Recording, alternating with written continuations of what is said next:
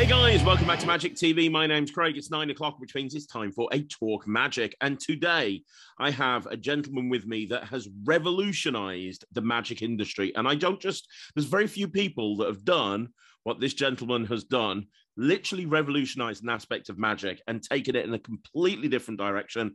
His creations have are used by professional magicians all over the world. And it's just incredible. I'm hoping he gives some insight into how this all came to be.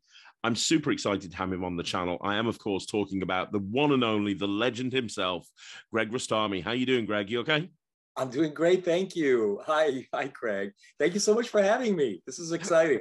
Man, thank you so much for coming on the channel. I know that you're always busy.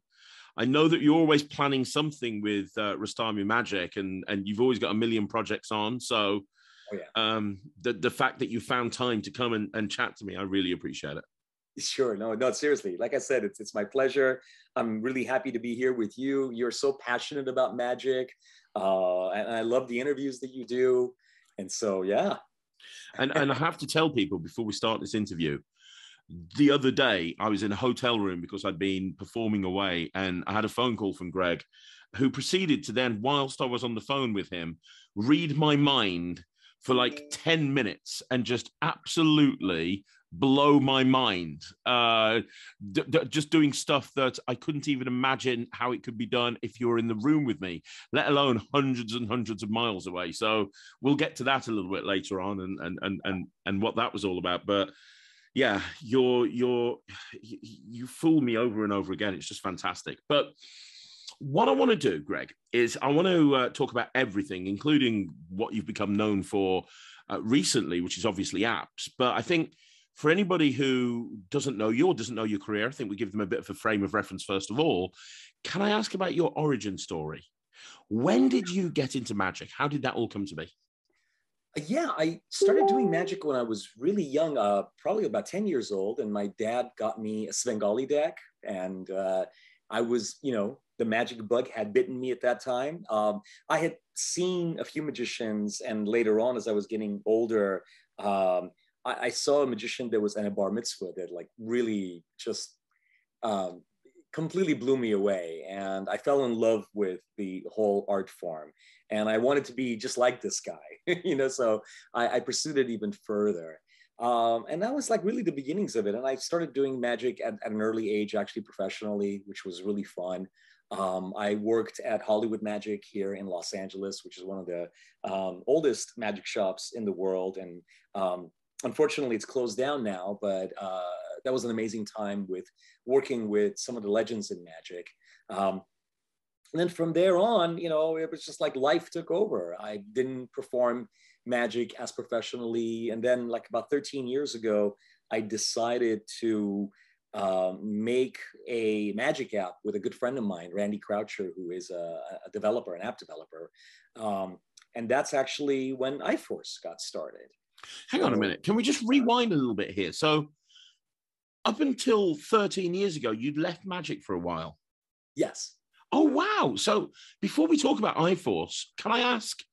What, what, you know you were working in a magic shop as a kid and you were doing you were working at Hollywood so you're obviously passionate about magic Yes, uh, very. Uh, you, but what made you kind of move away from it? Uh, you know, because obviously you mentioned professional magic. You'd done gigs, I imagine. What made you kind of move away? And more importantly, what made you decide to come back? Yeah, uh, I was very passionate about the visual effects industry. And so um, I was studying visual effects and um, I, I, also was really involved in computer science and electrical engineering. And so there was all these other things that I was doing. And uh, as I, you know, left, you know, working at Hollywood Magic, I actually started working for the second largest visual effects facility in the world. That's here in Simi Valley um, uh, called DreamQuest.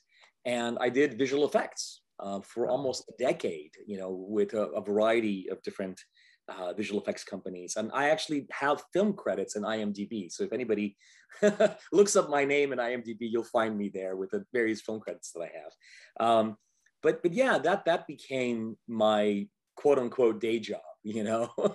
uh, and then at the same time, you know, I was involved in the development of 3D animation software, and I was working with a company called Hash Incorporated, um, just you know, representing their products and um, selling their products at trade shows.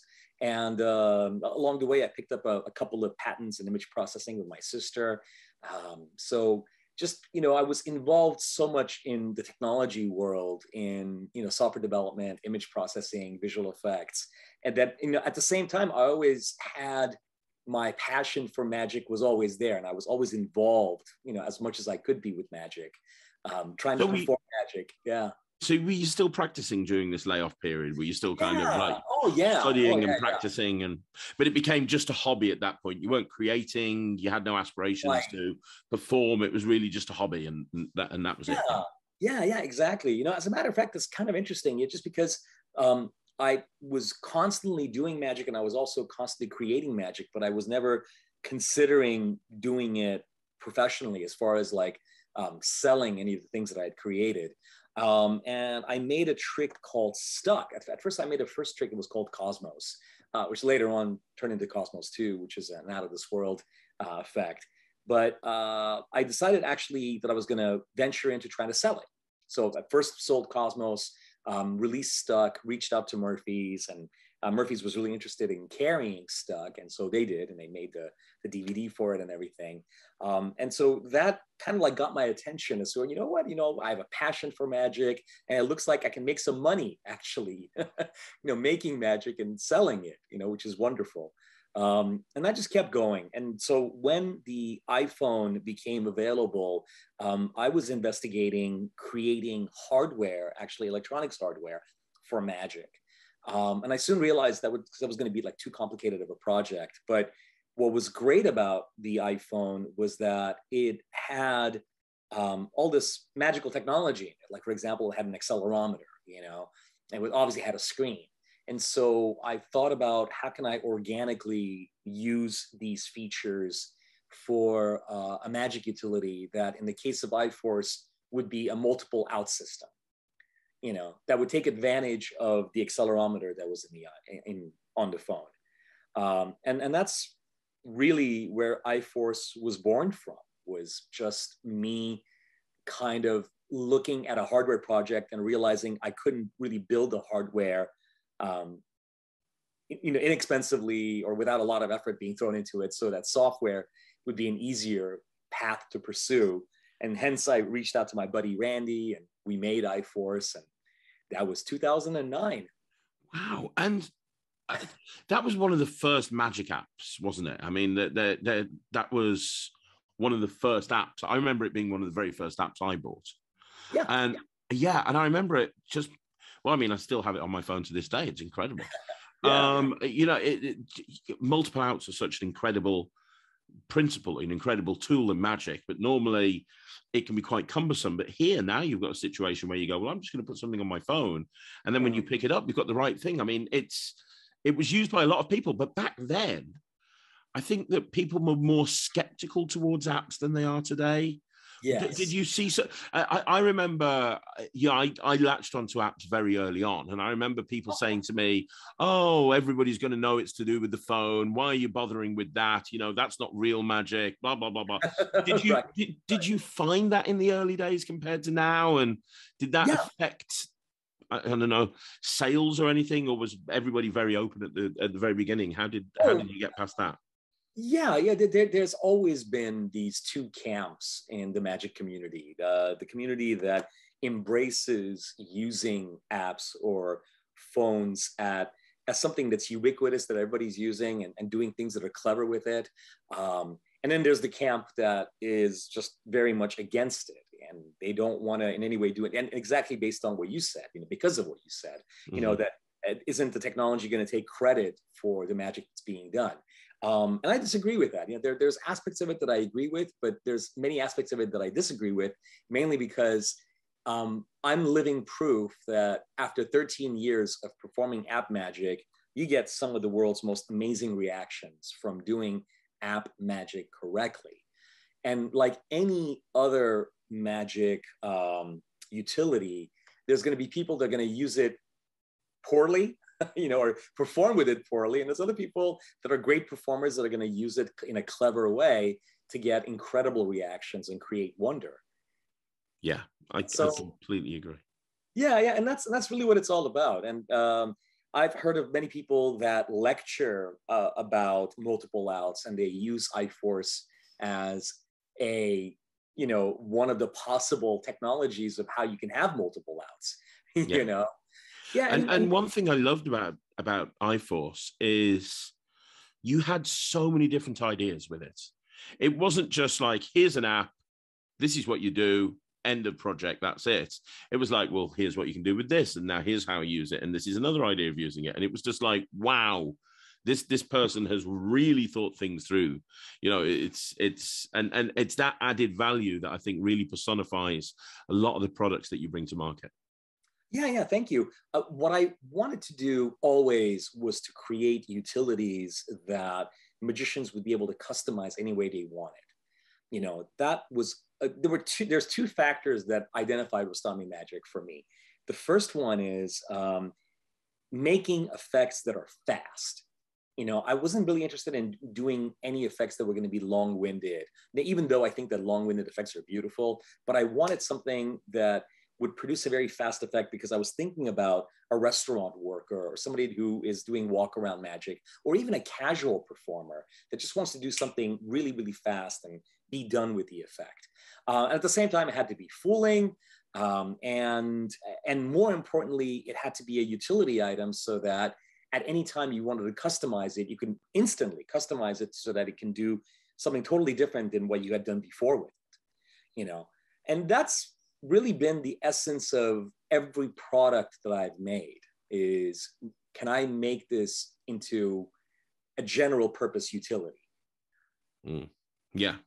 And over time, I realized that the biggest elephant in the room was the fact that the magic was happening on my phone, right? And that was the, the weakness of all of this stuff. And so I started really quickly deviating away from my phone and um, thinking about how can you make the same exact thing happen on a spectator's phone. And yeah, before, go ahead. Before we get into that, because obviously you're now moving into inject and other other other areas. Right, before right. we get there, can I ask a question? Where, how did we get from releasing iForce to founding Rostami Magic?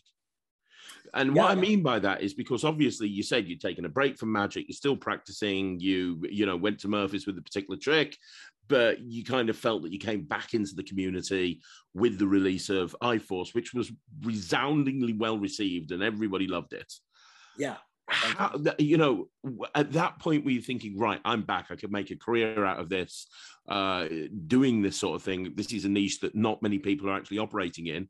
And I've got this product that's like a big jumping off board or or was it like okay that was nice. Now now i'm going to go back to visual effects. Like how did we get from iforce to rostami magic? Yeah um so iforce was the start of rostami magic. And so once i realized that the community had embraced this idea um the best thing that i could have done was to continue you know? And i mm-hmm. had a lot of other ideas about things that i wanted to do and it was just a matter of then you know reaching out to uh, randy and finding time uh, to at, in the middle of the night you know constantly developing and creating these products that led to believe it or not i've made 22 apps on both platforms both ios and android. Wow yeah, yeah, most people don't know that that I've made so many apps, but I have. You know, some some of the apps that I've made um, have been made specifically for companies that um, that I made for like advertising purposes for companies.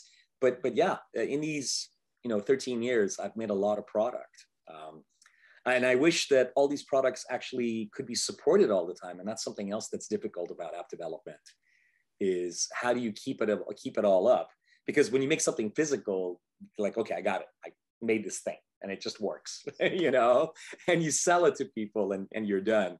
Whereas app development and app magic means that every time somebody changes an operating system, I gotta go do fix it and things break all the time that I did not break, you know? Mm-hmm.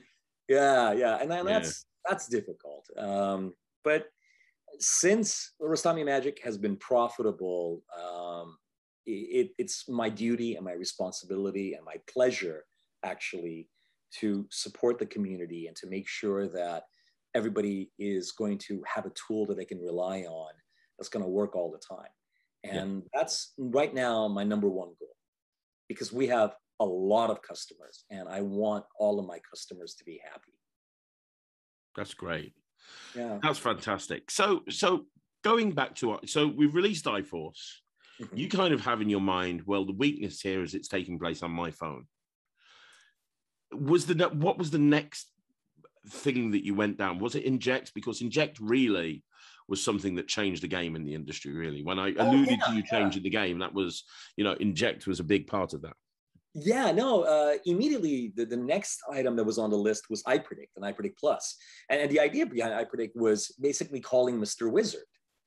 Uh, and I thought, okay, calling Mr. Wizard has been this premise in Magic forever. How can I bring that into the 21st century? And uh, the, the idea behind that was that if I use the contacts app and somebody just simply looks at a contact and calls the phone number, and if the voicemail reveals their chosen card or chosen number or whatever.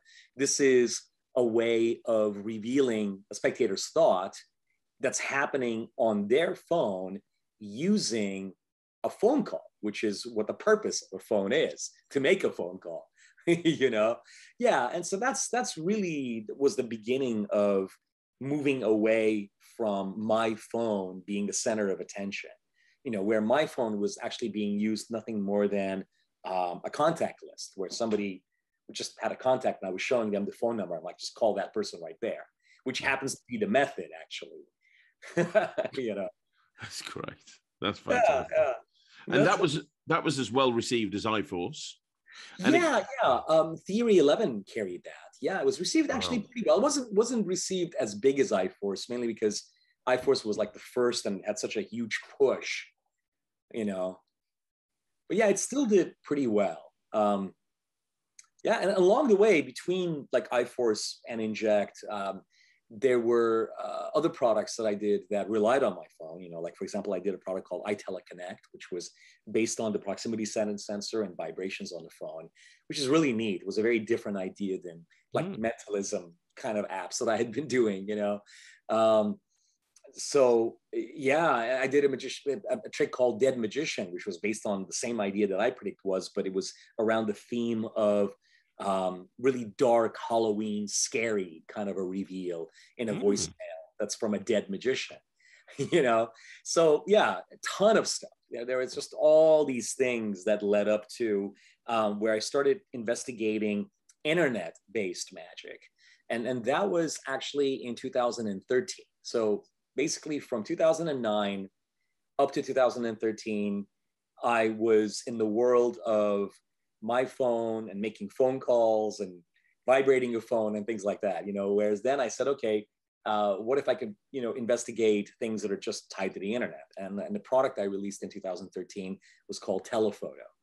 Um, and, and Telephoto was huge um, just because it kind of harkened back to products that uh, Craig Filicetti releases with Promystic, mm-hmm. where a spectator makes a selection and the magician gets some kind of a vibration pattern, you know? Mm-hmm. So, yeah, yeah. And so I wanted to do something that was like that, but was on uh, in, in, in the realm of phones, you know, yeah. where a spectator opens up a web page where there's an album of a variety of different selections and they make a naked selection and the magician can't see it, can't hear it, or nothing, but the magician knows what photo the spectator is looking at, you know.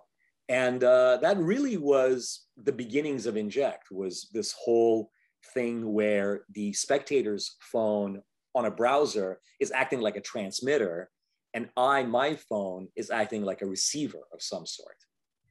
you know which is uh, i mean where did i mean obviously as you said this is the precursor to uh to inject where did you come up with that idea was it seeing uh craig Filicetti's stuff and going well hang on a minute. I can bring this away from uh, sort of thumpers and bring it into a more organic object. Uh, where, where, did you get the inspiration to, the inspiration, come up with this? I i remember seeing um well, Craig Filicetti's product was a big inspiration. You know, uh, in, in, recognizing that okay, you know, you can use radio signals to transmit information, in, you know, in a certain distance. But the advantage that the internet would give you was that there is no distance barrier as long as I'm connected to the internet and somebody else is connected to the internet. They can be anywhere in the world, and I can still receive wireless signals from them. you know, mm-hmm. so uh, so that that was yeah. So Craig Filicetti's products was a big inspiration. Um, there was somebody that had a product, um, I believe it was on either on Android or iOS, that was doing something that was based on a remote transmission of information. And I was like, okay, that's interesting, but you know, I want to be able to really build on this idea to make it be a utility, where a magician could go in and say, all these images that are here are going to be images that I want. You know, so if it, it allows the magician to customize an effect that's going to be for them yeah. and not just something that's a canned effect. You know, I wanted to constantly, as I said before, make utilities that would allow you to do whatever you wanted to do and not what was just built into the product. Um, and then and that was it. Yeah. And that's really the inspiration of how these things came about. And along wow. the way, yeah, and along the way, once I realized that I can receive information from the spectator. I'm like, okay, well, why, why don't I make like a general purpose thumper? You know, the same way that, uh, you know, oops, excuse me for a second. Thank you. Thank you. why don't I make something that's going to be that, that was my wife. You've got service as well. This is amazing. the best thing for you ever. yeah. Yeah. Um, so I thought about, you know, hey, as, as long as I can receive information from the spectator, why not try, try to transmit information? You know, mm-hmm. so um, I knew that magicians use ways of transmitting information like thumpers, you know, electronic thumpers. And I'm like, well, you know, it's a phone. I might as well use that. And so I released a product right after telephoto that was called Super Thump. And mm-hmm. that probably is the closest product to inject that I made. Um, and in Super Thump, there was a feature that was called the Web Thumper. And uh, there was a fam- very famous um, television magician who got interested in that idea and you know bought the television performance rights from me. And he uh, essentially stopped me from further developing the, the web development part of the web thumping aspects of Super Thump for a couple of years. So I couldn't really do anything more with it. I was kind of stuck just because of the, the business deal that we had together.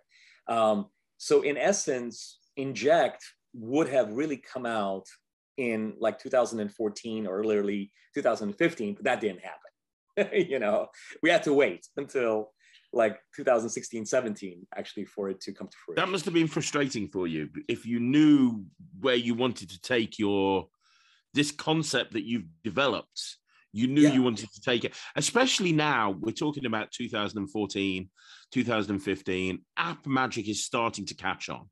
Mm-hmm. More people are starting to use apps. More people are developing apps. Were you a bit worried? Well, I can't do anything else with this for two years. What happens yeah. if somebody sees this that I've done and takes that creative leap instead of me? Yes. Yeah, that did actually happen. And that, that was a, a big concern of mine. Um, where I knew that I had competition and I knew that there is a limited number of good ideas, you know, and that other developers would exploit these ideas that were just organically and naturally there for the taking. Mm-hmm. So yeah, yeah, that really, really bothered me a lot. And that did that actually did happen with a, a variety of other uh, app developers that came up with things that were similar to what I was working on. Right. Uh, must have been but very still, frustrating. Yeah. Okay. Okay. So you then was that, did you create any apps in that two year period or yes yes yes yes inject actually was created in that two year period so right. what what we ended up doing and, and in this case we is hani nagib and i so hani is the the programmer of inject um, Hani and I looked at the general architecture that we had set up for Super Thump and like, you know what? Um, what other kinds of effects can we build for this universe with this foundation of the internet is acting like a transmitter and a receiver, you know? Um, and there was a ton of ideas. Um, and we threw all those ideas together and came up with basically what people now know as Inject. And and for those people who have been living under a rock and have no idea what Inject is, can you describe it? Would that be okay? Yes, absolutely. What is Inject? Inject is an app that runs both on iOS and Android, and it allows you to convert your phone into either a secret transmitter or into a secret receiver. You know, so as a receiver, um, one of the prominent things that people do with Inject is that they have a spectator go to Google and do a search for something, and uh, the magician immediately knows what the spectator has done a search for in Google. Um, and so that's where the magician is receiving information from the spectator's phone. Um, unbeknownst to the spectator. And the other way around is when you know the magician is transmitting something to the spectator's phone. And one of the popular tricks in Inject in, in that regard is um, on the spectator phone, the spectator opens up a photograph of Houdini that they're looking at throughout the whole time. They name any card in the deck of cards. And when they zoom in on the eyes of Houdini, inside the eyes, the reflections of the eyes actually reveal the card that they just named or they pick from a deck of cards. Wow. You know, so in that in that particular example, what's happening is that the spectator's phone is like a receiver, you know, that's receiving information secretly from me, while I, the magician, am the transmitter. Yeah. So that's that's really in essence what inject is. and yeah. to, by, by the way, to to the spectator, it seems like the magician has absolutely nothing you know like if you ever watch me perform you'll notice that i don't even have like a smart watch on my wrist i have nothing. You know, my sleeves are rolled up and I'm just like standing there, you know, mm-hmm. and all mm-hmm. these amazing things are happening. I'm reading their mind and things are appearing in Houdini's eyes and blah, blah, blah, you know. So, yeah. Man, okay. So, uh, this did a couple of things I want to I want to ask you about with regards to Inject. First of all, sure. you mentioned at the very beginning when you talked about Inject, it's developed for both Android and Apple which is a big deal because a lot of the apps that come out these days are really just Apple centric. And you're one of the few developers that develop for both Apple and Android. Mm-hmm. Why do you think so many apps are only developed for Apple? And why did you take that decision to um, develop for both platforms? Um, yeah, I wanted the products to be available for everybody, you know, regardless of what the platform was. I mean, the, the challenge is how do you develop for both platforms without going broke in actually having two different code bases, you know, and not having any time to sleep. So the solution to that problem is um, development environments that are cross-platform. And at the time that we started doing, for example, telephoto, um, there were products that were just coming out that allowed developers to actually write only one piece of code and cross compile both for iOS and Android. As a matter of fact, you would uh, you could actually cross compile it for any of the platforms that were available at that time, including Microsoft's phone as well, which no longer exists today. you know, so so if we wanted to release for literally any platform that was available in the world, we could have at that time.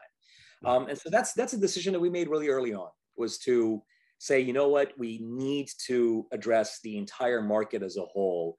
Yeah. Uh, and at the same time, the Android marketplace was getting bigger and bigger and bigger. And um, to only focus on iOS would have been a bad business idea, you know.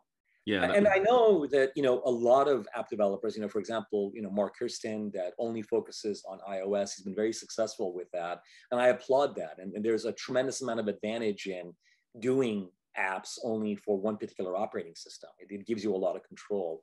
Um, but at the same time, you know, being cross-platform makes my customers happy because now just because they chose to be on an Android, they don't have to say, darn it, I can't get this for my phone because it's not supported. My phone is not supported. Yeah. Okay, that makes sense. Yeah. So one thing that I've noticed with Inject is, you know, a lot of apps that get bought out. You you bought Inject out in 2017, right? Yeah, yeah. Yes, exactly. If not sooner. yeah. So it's like almost five years now that yes. uh, Injector's been out. And a lot of apps have like a, not all apps, but there's a lot of apps that have like a, I don't want to say limited lifespan, but you know, you see you see some apps that come out and everyone's using them, and then a month or two later or a year later, they've kind of fallen by the wayside. Inject has always has continued to be the app that everybody uses like all of the time. Why is that, do you think? Why is it that you've had that sustainability, that you've had this app for five years? And there's lots of other apps that have come out in the meantime, but Inject is still right up there as one of the best apps you can buy. It's kind of like I kind of think of it in, I kind of think now of uh, Inject a little bit like the invisible deck. Uh, and what I mean by that is when you first get into Magic and you go, you know what, I'm gonna, I want to do card tricks. Can someone recommend a good gimmick pack of cards? Yeah, you got to get the invisible deck. That's where you start, the invisible deck. With app Magic, you know, there's certain apps that are recommended.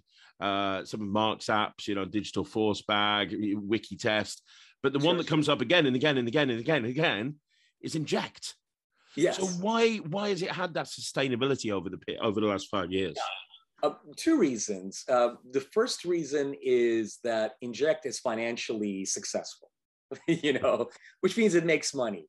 So if it makes money, that means that I'm going to do everything in my power to make sure whatever comes in, I turn it around and I put it back out into the community, you know, so that I can constantly maintain it. Uh, that's very, very important. And, and that's actually the reason why, like when I, whenever I see fellow app developers come up with products and they fall off, it's not because that magician is being lazy or anything else like that. It's just simply because the product didn't make money, you know, and, and the all the work that goes into maintaining these products is hard, you know, and that's why at the end of the day, you just kind of like have to cut it off.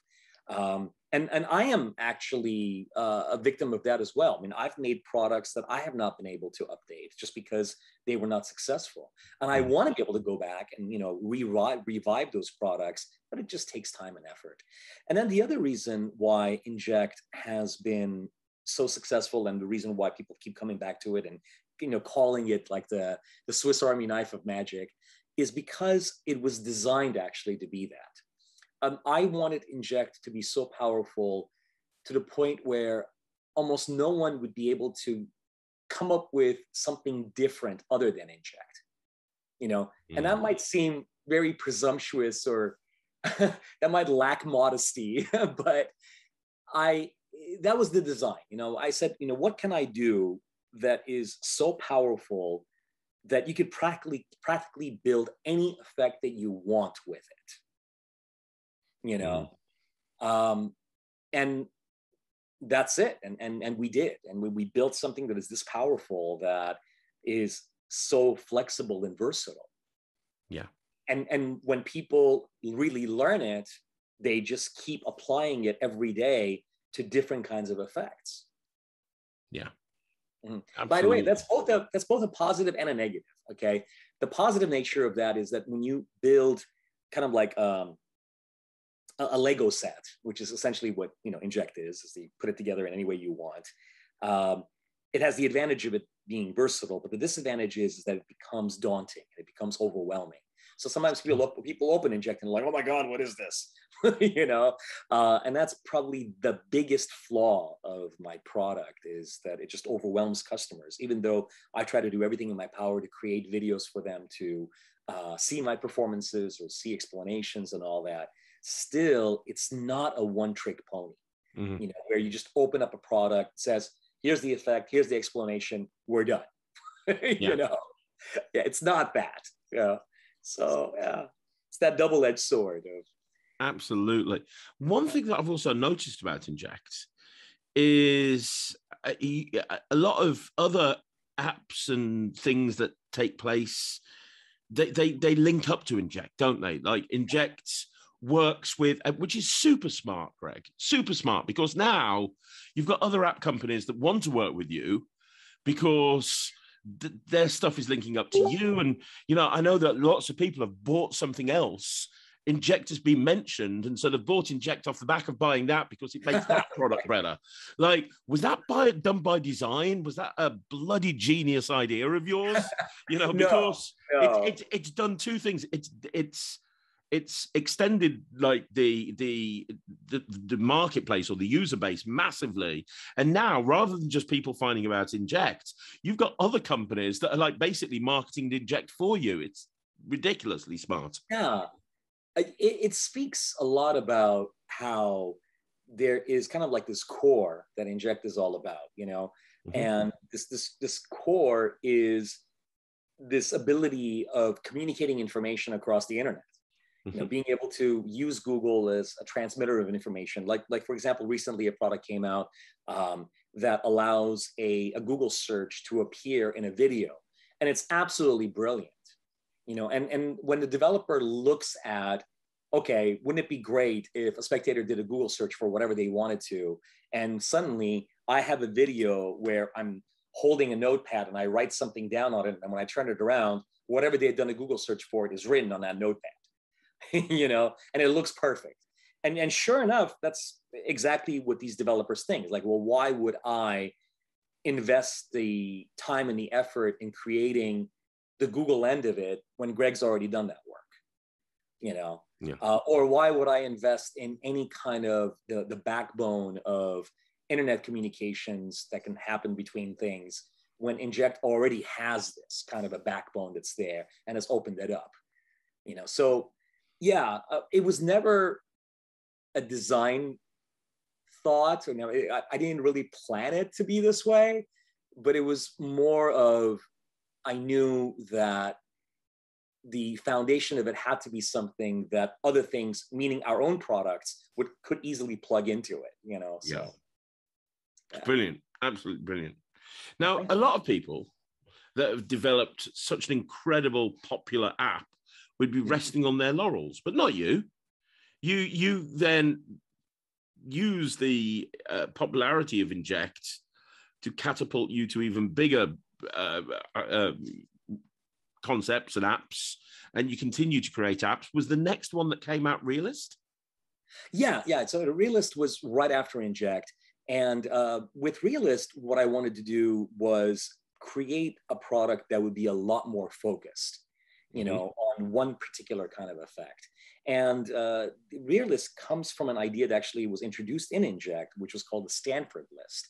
And the stanford list was a, a simple effect where you have 12 items that are on the list and you show it to the spectator on the spectator's phone and you say that um, the stanford psychology department determined that people didn't have a free choice whenever they would look at a list like this and you ask the spectator to name any number between and you first make a prediction on a piece of paper that you give to the spectator. You say give me any number between 1 and 12 spectator says 3 you're like everybody says 3 open up the paper. And when they go to 3 on the list they see that uh, item number 3 says pizza. And when they open up the prediction the prediction says pizza. Okay, so that was the idea that was in Inject and under the Stanford list preset. And I always thought uh, when I first made that preset, even in the instruction video, I said, well, you don't have to limit it to 12 items. You can do anything you want. You know? If you wanted to do 50 items, 100 items, whatever, and it could be anything you want it to be. Um, so I wanted to elaborate on this idea because the foundational forcing utility that you have there is the spectator recognizes that they could have freely chosen any number, you know, mm. uh, and, and therefore there it is. And so again, I wanted to make that happen on a spectator's phone. And so I thought to myself, what is the most organic place in the internet world where lists exist?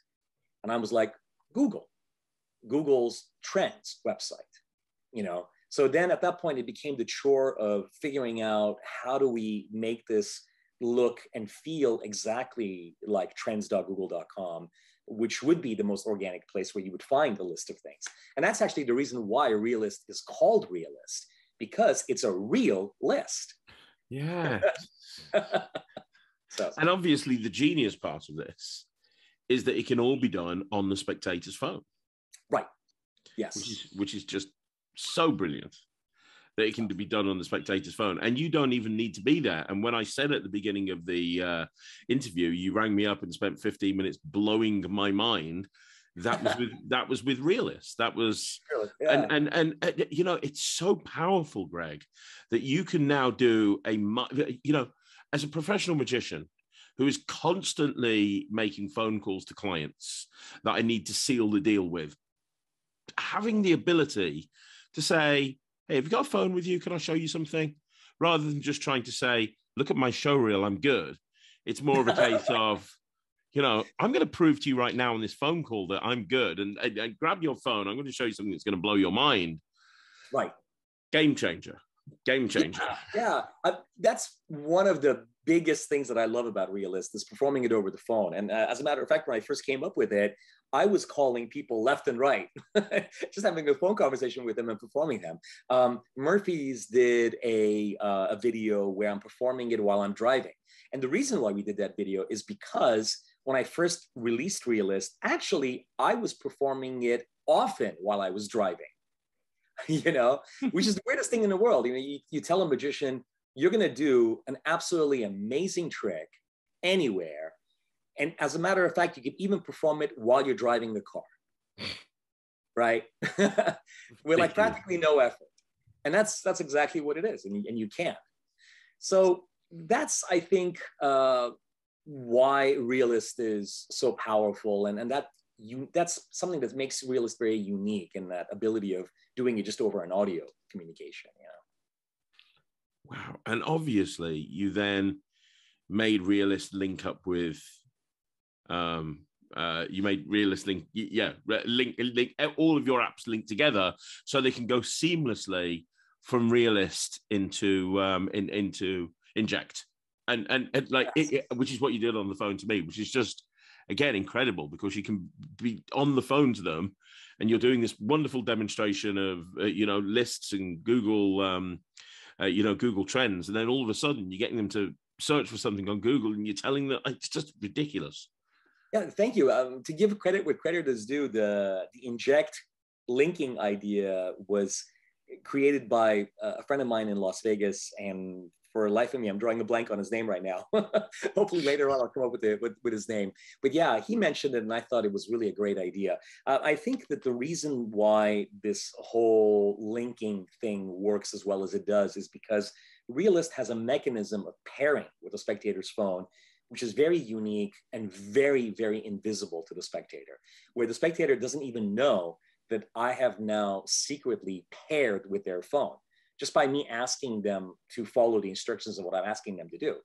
So that was a really, really big deal of, you know, examining uh, when, when Matt Raderlich and I were looking at all the different ways that um, the magician can actually pair with the spectator's phone, I came up with that idea. I'm like, you know what? This is, I think, the most powerful way of pairing with a spectator's phone that's never been done before. And when we implemented it, it was solid as a rock. Um, I've performed with it now hundreds and hundreds and hundreds of times, and it's just it just flies by everyone. And, and magicians always ask me, "How did you ever pair with me?" And like, yeah. And I, once I explain it to them, I'm like, "Wow, I would have never thought." That's incredible. Yeah. You know, Craig, I, there, there's something that I wanted to mention to you, which um, I've oftentimes talked about and I've lectured on, which um, I want the magic community to recognize about app magic and how it's different from traditional magic performances. Mm-hmm. Um, whenever I do, let's say, for example, a Google Peak effect, if the person that I'm performing for does not know that I'm a magician, I don't present it like I'm doing a magic trick for them. Because there are no traditional magic props that are involved. You know, mm-hmm. I'm not bringing out cards or coins or anything else, right? Mm-hmm. So uh, if I was to present it like, you know, I've been memorizing the birthdays of celebrities, I said, do you mind? Let, let's, you know, I'm going to show off my memory skills to you right now, right? And you go into that kind of a presentation. Um, the spectator genuinely believes that you're not quote unquote doing magic. Mm. The moment of wonder is so much more powerful because you're catching them off guard you yeah. know and, and this is even an idea that's been explored on television shows where you know in the Carbonaro effect for example when you know Carbonaro is doing things for people that are just like customers in a shop and they don't know that he's doing magic for them right so yes. yeah um, and I think that that's one of the biggest differentiation factors in app magic in comparison to all the other forms of magic that are in the world. Is yeah, it's so well disguised because phones are so ubiquitous. Yeah, yeah, totally. You know? And so using it just seems so organic and natural, especially when you're using their phone and just saying to them, you know what, my, my phone's battery is almost out. Do you mind if we use yours? And you just proceed from there. That's so, yeah, that's so true. Yeah, I never looked at it that way, but you're completely right. Yes, 100%. I mean, I, do you ever worry? I mean, you, you said earlier on that you've created 22 apps at this point. Yes. Do you ever worry that you're going to run out of ideas? Or have you got like a, I, I imagine that you've got a massive whiteboard with scroll all over it and like lines and Venn diagrams and things like that. uh, you're just like some mad professor's workshop. But do, do you know that? Because that's something that I've spoken to a lot of creators on this channel about. Mm-hmm. Um, people that have created a lot of magic over the years, not necessarily app based magic, but just magic in general. And, and one thing that comes up again and again is that thought of, oh, you're only as good as your last product. And what's going to happen if I run out of really good ideas and then, you know, I, release a clunker and it's, do you, do, you, do you not worry about that? Do you, or, or is that something that's a concern for you? Yeah, oh, sure. I worry about it all the time. Um, there are a lot of ideas that I have that uh, we have not developed yet, a, a lot. Um, ideas that are very, very different from the ideas that I've developed currently. You know, mm-hmm. I mean, dramatically different from my things that I've developed currently. Um, and and will I will be exploring those, you know, as time goes forward. So uh, yeah, I don't think that there is an infinite number of good ideas. you know, I really don't. I, I, believe that it is a very finite number, and uh, I think that whoever jumps on those ideas first and in a market is who will succeed. Um, once in a while, I'm really surprised by these kinds of things. I'm, I'm, surprised by people that create ideas that I would have never really imagined before. Um, but most of the time, when you look at the functionality of something like a phone and you say, okay, well, what are the core functions of a phone? And how can we exploit these functions for a magical kind of an effect? Yeah, there's a handful of stuff that pops out, you know? Mm-hmm. so, but yeah, you're right. I do actually have uh, not a whiteboard, but um, there are files that we have where there's a bunch of ideas that are written down. And, yeah, wow. we try to implement them one at a time as we go along. Well, was is Realist your latest app? Yes, yes, Realist. So, so are we going to be seeing another app from you in 2022? Uh, hopefully, yes. Yeah, we are, um, in this particular case, we as Matt, Matt and I are currently in the development of a, a brand new idea that um, we are pretty certain we can do in 2022. In 2022, there are a couple of other priorities, and, and that is the release of Inject 3, which is, people have been waiting for that forever, and we want to be able to push that out. And we're very close to it actually now. Um, so that takes priority. But then right after that, once Inject 3 is kind of like settled into place, then um, I can look into the new product and, and get the new product developed. Um, and that's also important in general for business, you know, because you know I, I can't just rely on the sales of a couple of apps to keep me going. You know, I need new product to come along. Yeah, that's going to be fresh ideas and things that are different. Wow. it's an ongoing thing. You know, that's one of the unique things about magic in general is that uh, magic is very, very fickle in that when you see a magician at an event, if that magician was to only do one trick that was amazing, to the spectator, they immediately say, Well, what else do you have? mm-hmm. Right? They want more. Yep. And yep even when you show them more, if you were to go away from that event, and let's say you come back to similar clients, let's say a year down the line, they want to see something new. They want to see something different, you know, than what they've seen before. Yes. So magicians in general are like like comedians actually mm. we're forced to constantly come up with something new you yeah, know it's true what's new what's new uh, so just keeps going let me ask you one more question about app magic, as you're one of the leading experts when it comes to app based magic.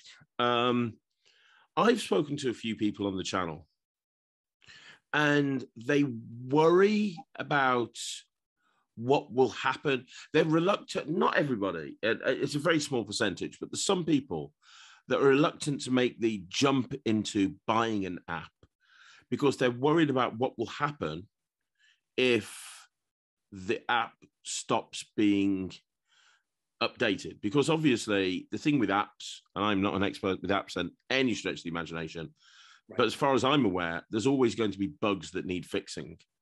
And yes. so you always need to have a developer there. You can't just, it's not like, uh, okay, so we talked off camera about my quantum deck. It's not like the quantum deck where people buy the deck of cards and then that's it, they've got it and nothing will stop that. It's kind of like as the the developer has to be there in order to mm. continue fix it in order to make that app continue to work. And obviously, about a year ago, we had illusionist who famously withdrew support for some of their most famous apps and said, "Well, you know what? Thanks for buying them, but we're not going to support them anymore," which which was a, a big problem in the industry for the people that had bought those apps. Sure. And and that's made people think twice about buying apps. Now, obviously, you are very committed to updating your apps uh, as are other developers like Lloyd Barnes and uh, uh, Marc Kerstein. Uh, but but I mean, do you think it's an issue that there's more and more people developing apps now that are maybe not necessarily in it for the long term, and they're developing an app that ultimately will end up not? Do you, do you, do you see what I'm trying to say? I don't know. Absolutely, yeah, yeah, yeah I, I, totally agree with you. Um, I think in general, products have a lifespan. Uh, mm-hmm. it, it, doesn't matter if the product is a deck of cards or if the product is an app. And, and I, I agree that the lifespan, oftentimes, of an app can be shorter than the lifespan of a physical product. But uh, you know, at the end of the day, uh, an app is just software, mm, and the, upkeep of it is the upkeep of the software that has to be done. You know, mm-hmm. um, so it, the same. But like for example, I released a uh, a deck that was called Cosmos Three, and it was really well received. And the the entire order that I had from you know the U.S. playing card company sold out. And once it was sold out, and once it was sold out, I was like, okay, if I'm going to do this again, then I'm going to have to buy a brand new set of thousands of decks from the U.S. playing card company to continue this. And am I interested in making that investment in keeping this going? And, and at that time, I decided not to, just because it's a lot of money to, to throw at all the cards you got to buy from them. So at the end, it's it's just a money decision. You know, you you look at what you're doing and it's like, okay, is it worth it to keep this up or not? Um, and I, I think that if apps were, you know, more being used more and there was more of a market for it, then the developers would not hesitate in constantly, you know, keeping them up. Mm. Yeah. But yeah, hmm. it's it's a it's a challenge. yeah, I can't yeah. lie. It, like I said, you know, you make something that works one day and Apple or Google makes a difference to the operating system and now suddenly the next day it stops working. That sucks. Mm. well, you know what? I've got I've got one more question for you, which sure. is is there anything le- left within the magic industry that you want to achieve? What, I mean, what are your goals and aspirations over the next coming weeks and months and years and so on and so forth? Because you've achieved so much. Like I said at the beginning of this interview, you have completely changed the game when it comes to uh, when it comes to app-based magic. There's so many people that use your app. There's so many apps that connect with your app. It's just ridiculous. Um, and I know there's a lot of magicians would really struggle if they didn't have injects available for them. So you know you could rest on your laurels, but I know you're not going to. What are your goals moving forward? Is there anything left on your magical bucket list that you haven't yet achieved?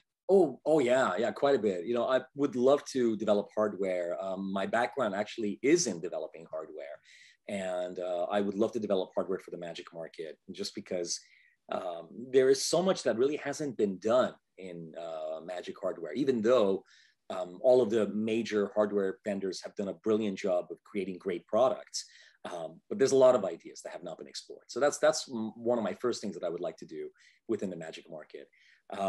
And then when it does come to app magic, once again, same thing. You know, um, there is there are still um, quite a bit of art, you know, ideas that I really haven't been explored yet. That that I would love to be able to release.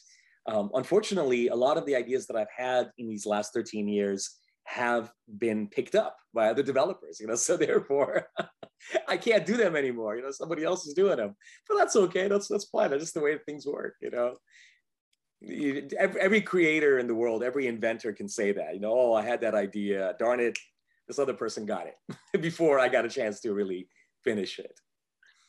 It must be very frustrating if that happens though, and you've spent like potentially months or even years developing something similar. So you have an idea for something, you spent maybe the best part of 18 months developing it. I don't know if that's happened to you or not, but uh, you spent the best part of 18 months developing something. Then all of a sudden another product hits the market that does something very similar with a with a with a normal magic trick. It's like, oh well, you know, that's that's the but apps take so much longer to produce and so much longer to flesh out. It must yeah. be so frustrating. It's like, right, damn it, back to the drawing board.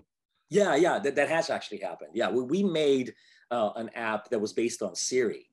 Uh, and it was actually called Get Serious. And this is something that practically nobody knows about. You're the first person that actually that I've told this to. Um, so Get Serious was an app that we developed. Randy and I developed it that was using Siri as the mechanism for doing reveals and a bunch of other amazing pattern things that you could do to interact with Siri. Um, and right before we were really, really close to actually getting it done.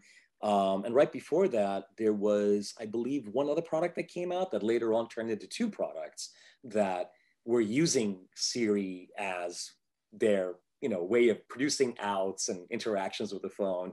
And we basically had to stop because they're like, okay, well, if we release this now, then people are going to say we're just copying this other guy over here, you know, whereas we're not. We never knew the other product was even around.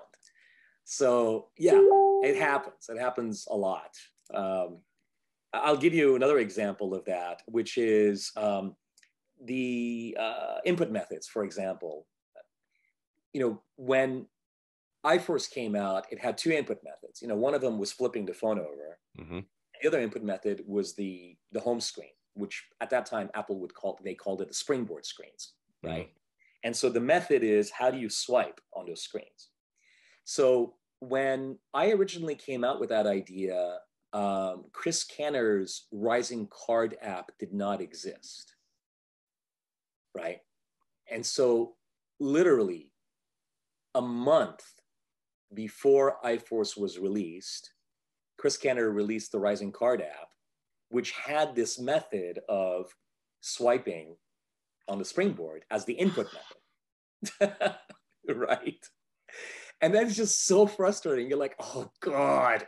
So now, you know, because you know that when people are going to download iForce and look at it, the first thought that's going to go through their minds like, oh yeah, you know, Rostami copied Chris Kenner. Like, no, I, I did not do that. You know, that's, that's got nothing to do with it. You know, that's and really frustrating. it is really frustrating, yeah. But it's just like I said, it's the nature of the beast. Uh, you know, the same way that Chris thought that swiping on your phone screen as you go from one page to the other seems like such a natural thing that you would do on the iPhone. And why not exploit that as a way of using it as an input method? I thought the same thing, you mm-hmm. know it's the classic case of inventors just thinking of the same idea at the same time. What do you think the next big thing is in App Magic? Like you talked about swiping on the screen to input methods. Obviously, Angelo's idea from uh, his very early app of using SMS. the yeah using using the uh, the the password thing has right. has been used by so many people obviously it's it's a very popular way of inputting. And then obviously you've got pairing phones that inject, inject us so well where you know that was a huge game changer. What do you think the next big thing is? Because we've we've been kind of living off the whole pairing phones for a while now. Right you know? right. Um, uh, i think the next big big thing is uh, a lot of products are using technology in such a hidden way where you don't even know that uh, any phone is even involved. Um, as a matter of fact, David Copperfield actually does a trick, which is like a book test where he's using technology as an index of looking up information that somebody just randomly picks up a book. You know, and they go to any page in a book and they look at the first word, and David knows what word they're thinking of. You know, so even though David Copperfield is not showing you that he has a phone in his hand, a phone is involved, the phone is hidden. And so therefore the phone is being used as an invisible assistant of a sort. You know, mm. um, in the new version of Inject, we now have a feature which we call any card anywhere.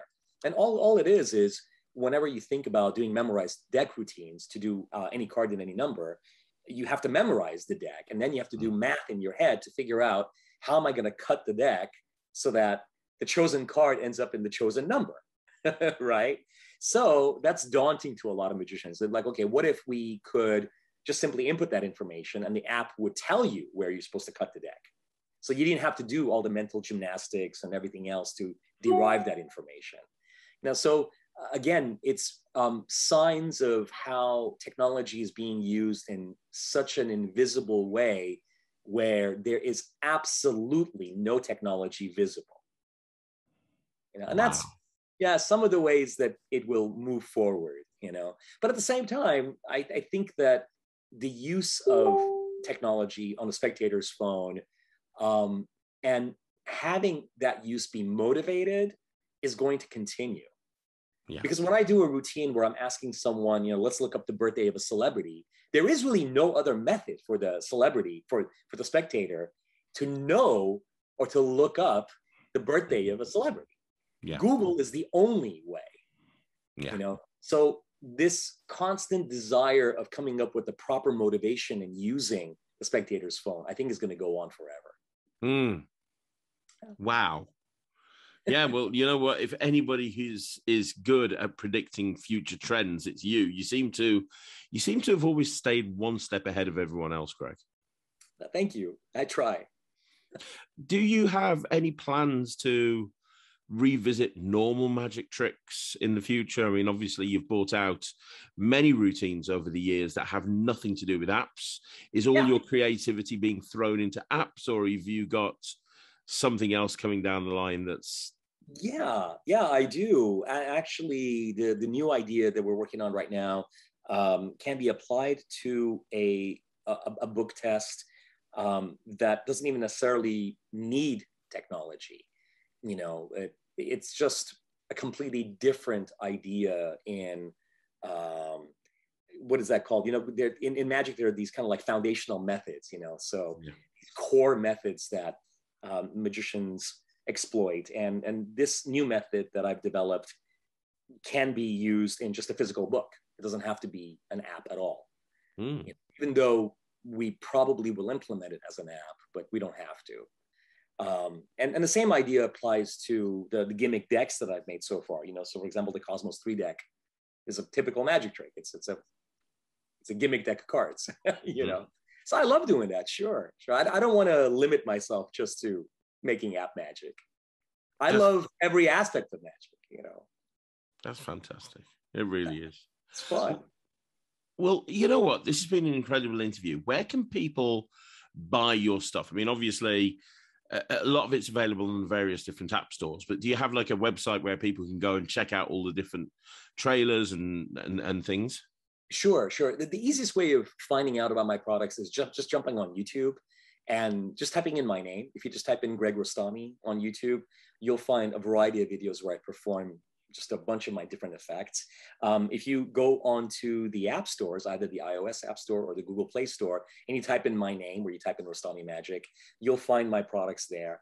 Um, and thank goodness, uh, many of the products have links that are actually to video performances of it, so you can see them there. And they, they range in price. You know, um, iForce, for example, is only three dollars. In the UK, I think it's as it's as low as I think like it's about two pounds and maybe 40 pence or something like that. It's pretty pretty inexpensive. Mm. And all the way at the top end of it, you know, of course, there's Inject, which currently sells for eighty dollars. Uh, but it does so much; it's like 15 apps in one. yeah, yeah, yeah. Inject actually has 22 tricks that it comes with, and each and every one of them are stunning. And you mentioned wanting to get Inject 3 out this year. Yes. What what will the improvements be in Inject Three? Can you?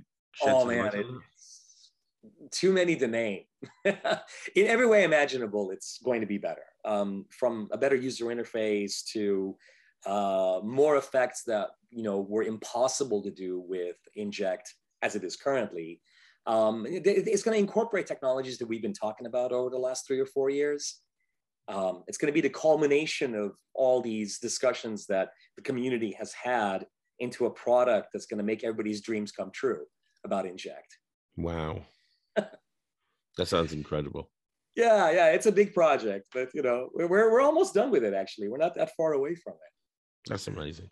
That's fantastic. Yeah. This this is this is a, a, fun story from the beginnings of Rostami Magic, and uh, when iForce first came out, um, I got an email from the producers of the television show in the UK, which is called The Gadget Show. And they told me, Greg, we have um, showcased iForce in our show that is got the, the theme of magic in it. So if you notice a spike in your sales, then it's because it was on television. so then when I got the email, I was like really excited. Like, oh my God, you know, I'm going to be on TV. this iForce is going to be on TV. Um, and the time that they said in the UK that the show was going to be on, um, Apple has this thing that you can actually see how well you're doing, you know, mm. as far as like your sales, and, and it updates like hour by hour.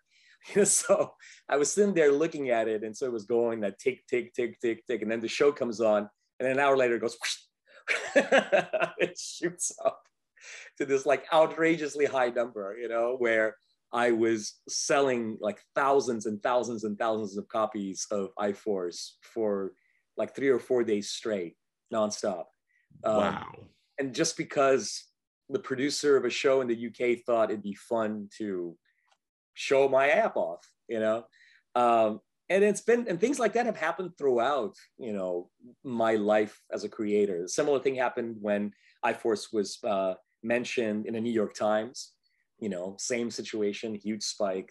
Um, and the as, as amazing as that spike was, what made it a fascinating story was immediately afterwards there were these one star reviews that would say, "Oh, it sucks," and I, I, I couldn't figure it out. I'm like, why does the review say it sucks? And then uh, reviews started coming in that would say, "I'm giving this one star because I don't want anybody else to find out about it."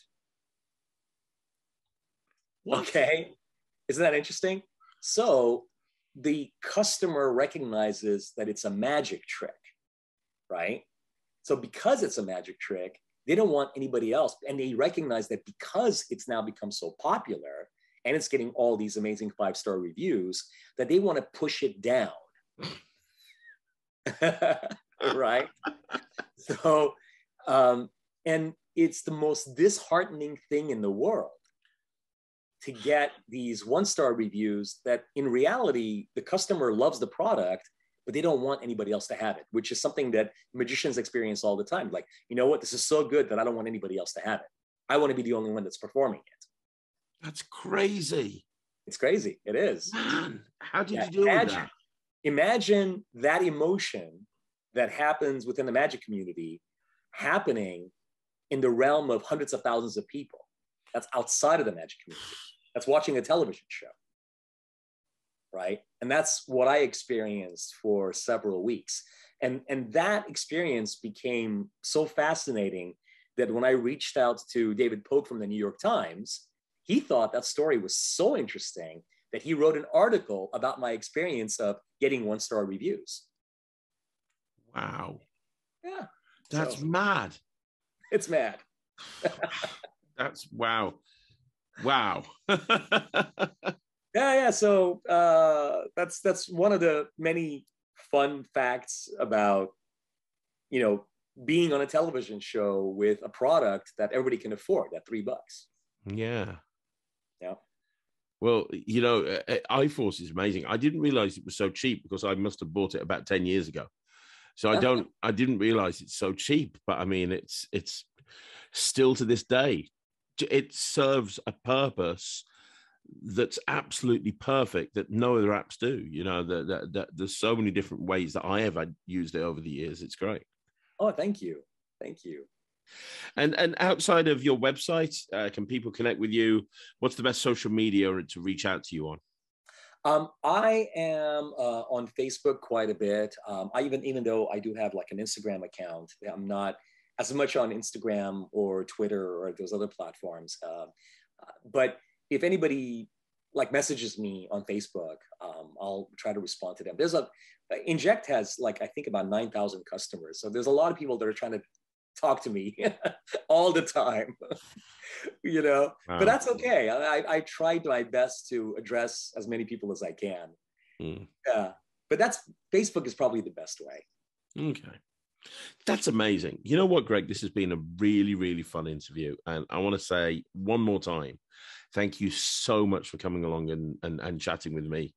You really are changing the game in every single way. And, and one thing that shone through in this interview is how passionate you are about your customers, your customer experience, and developing magic that people can use. It's not just pipe dreams. You can tell that you really want to give people a product that they care about that they want to use, and it's it's shining through. So, thank you so much for sharing your passion here and coming and joining me on Talk Magic. I really appreciate it.